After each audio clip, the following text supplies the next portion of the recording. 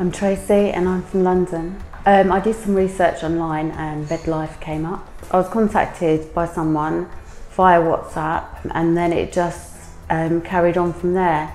They gave me a quote from the surgeon of how much it would all cost. Everything was all inclusive in the cost, no hidden extras. And then it just carried on from there. I was eventually given a date of when the surgeon could perform the surgery. We booked the flights and yeah, I had a otoplasty, breast uplift and implants and lipo and tummy tuck. It was very good. The doctor was amazing. I was really happy with the results and I know they're going to get better and better over the next few months. The hotel was really amazing. Everyone's really friendly. They can't do enough to help you. I recommend MedLife. Thank you, MedLife.